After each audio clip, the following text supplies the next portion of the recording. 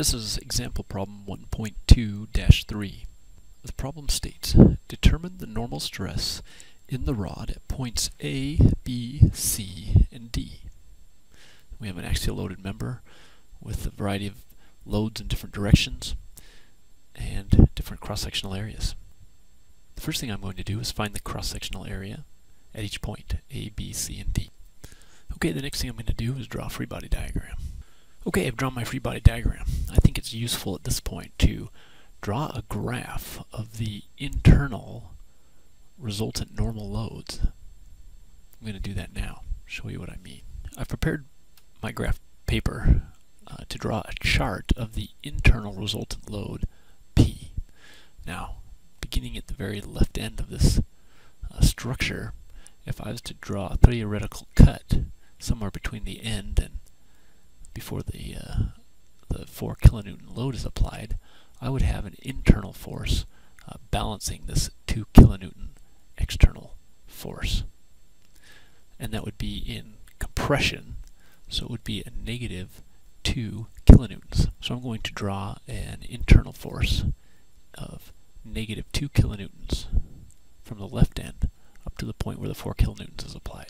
At this point, we get an addition of 4 kilonewtons pointing in the opposite direction. That's going to cause a 4 kilonewton jump in our graph so that from this point going over to the right, our internal force is going to be uh, 2 kilonewtons in tension, or positive. Okay, we see nothing changes right at this point. No change in our loads. It continues at 2 uh, kilonewtons positive. That's 2 kilonewtons in tension until we get to this point here. Now at this point we have 8 kilonewtons applied uh, in the opposite direction of the 4 kilonewtons here. That's going to cause a jump in our graph down to negative 6 kilonewtons, or 6 kilonewtons in compression. And the internal resultant load stays at 6 kilonewtons in compression uh, until the end of the structure, where the 6 kilonewton load is applied. This chart is useful because it shows the internal resultant load at any point in our structure. Now I think it would be helpful to draw another graph. This next graph will be a graph of the cross-sectional areas in the different sections of the structure. Now I'm ready to calculate values for internal normal stress at all points, beginning with point A.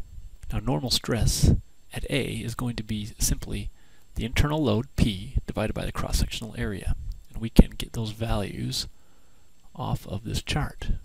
Internal load at A is negative 2 kilonewtons, and the cross-sectional area is 0.113 times 10 to the negative third meters squared.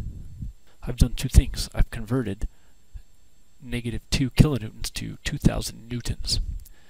When I divide it by 0.113 times 10 to the negative third, I get a very large number. It's 17.7 million newtons per meter squared, and I can just write that as 17.7 megapascals. Now I'll do the same for the remaining stresses, point B, C, and D. I've calculated the stress at all of the points, A, B, C, and D. Notice that I kept the sign uh, consistent with the internal normal force. Where the internal normal force is negative, the stress is negative. This occurs at both point A and point D. And we're done.